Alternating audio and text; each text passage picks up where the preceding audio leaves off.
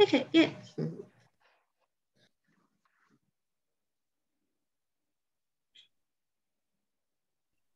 Okay, should be good to go. Thanks. Great, thank you. Hi, how are you? Hey, good. How are you? Good, thanks. Well, thank you again for taking the time to speak with me today. I appreciate it. Happy to be here. Mm-hmm. Okay, so I wanted to get started asking about the development of the documentary and maybe how you met Memphis and his family and what that interest uh, what that interest was uh, for you as a filmmaker to really uh, tell his story in a film over. Sure. Um, so uh, it's a bit of a long story how I met him. Um, he and I had both been hired um, to work on set outside Austin, uh, like quite a few years ago, uh, for this under budgeted scripted Christmas film. Um, and we were uh, we were shooting overnights, and everyone on set was kind of like miserable and tired. Um, and Memphis was very high energy. He was he was pretty amped to be there, and he was just kind of going around, you know, chatting with people and talking about film and everything. And so um, he was a very memorable presence for me. Um, I ended up um, well, so a few days into this shoot, um, in front of everyone, under pretty confusing circumstances, um, Memphis was fired. And um, that was pretty shocking for me. And I, I, was just i was confused about why it happened and what what the circumstances were. So i ended up reaching out to him afterwards. Um, and i learned that he had been vlogging about his experiences for nearly a decade at that point. Um, and he had this desire to to what he called share his story. Um, and so we kind of we talked about it and, and i asked if um, we could kind of begin this filmmaking journey.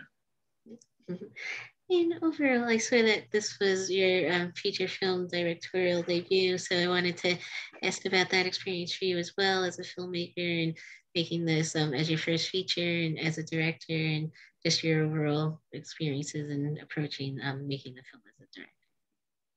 Yeah, um, it, it was a pretty exploratory process in making the film. Um, uh, I don't think anyone, including myself, had any idea that it was going to extend for as long as it did. And so maybe that's all I can say about being a first time feature director, uh, especially in documentaries. It's just going to take way, way longer than you ever think. Um, or that was my experience. But um, uh, yeah, it was exploratory. And so um, I'm so sorry. I'm blanking on what the question was. Just your overall experience um, as a director uh, while making the documentary. Yeah, I think um, Memphis at the beginning of this project was not famous. He there was no like very special skill that we were following. It wasn't like he was a celebrity or an amazing chef or something. He was just this guy who I really like resonated with as I got to know him more and more. Um, and I think that if I were deeper in my filmmaking career, I might have kind of gone, is there a story here? Who's going to be the audience for this? A lot of the logistical questions. And instead, uh, I really wasn't thinking about any of that. I thought, here's this person who I think deserves a wider audience, who I think people would be really interested to follow and get to know. Um, and so I'm kind of I'm pleased with my naivete in that process because um, because I think it, it turned into a pretty topsy turvy uh, story that I'm, I'm proud to share. And during the production for the film, what was your experience like of really getting to know Memphis and his family better and really figuring out how much you wanted to show from maybe each of their perspectives and just really getting to know and work with them throughout production? Yeah. It was a goal from the beginning that this was going to be a film to whatever degree was possible to, to be told through Memphis's eyes. Um, so um, we were intentionally not featuring the parents too heavily, featuring friends too heavily.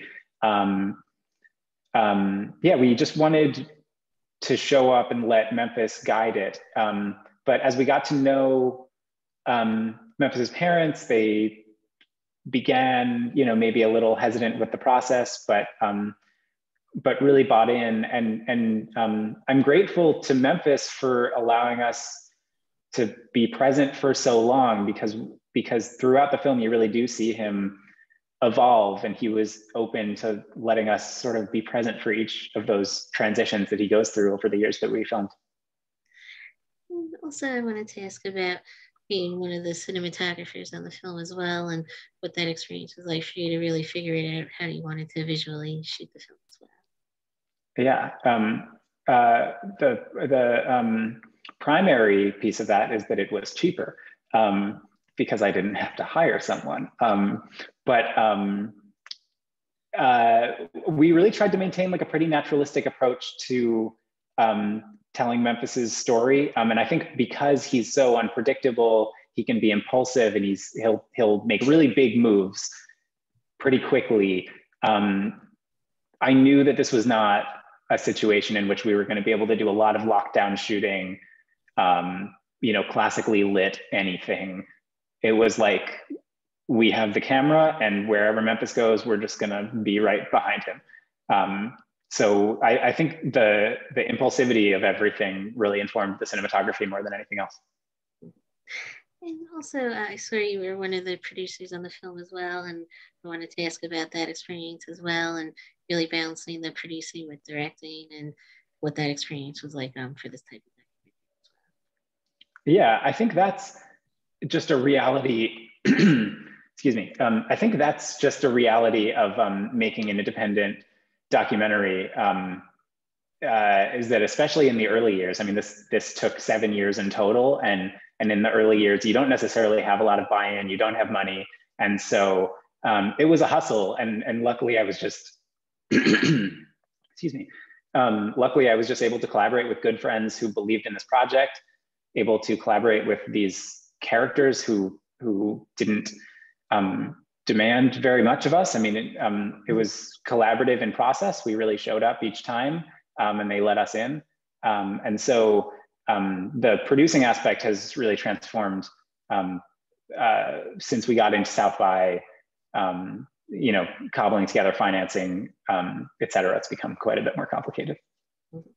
And speaking of South by, I was about to ask about that experience as well, and with uh, um, Memphis and his family living in Austin, well, in Texas as well, and just in general, and that experience been like of being able to bring the film there and premiere there.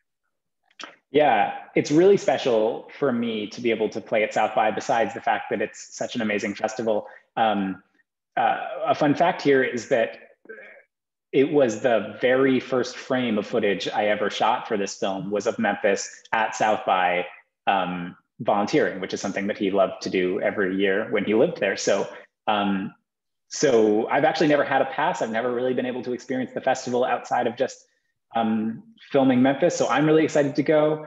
Um, I'm hoping it's going to be an amazing experience for Memphis. Uh, his parents are going to be there. Um, so it should be a real homecoming, and I'm, I'm uh, very excited that this is our premiere. Mm-hmm. And also, what was the experience like of editing the film and really putting the final version of the film together, um, especially with the pandemic the last few years? Did that maybe influence or affect the editing, or what was that experience like as well overall?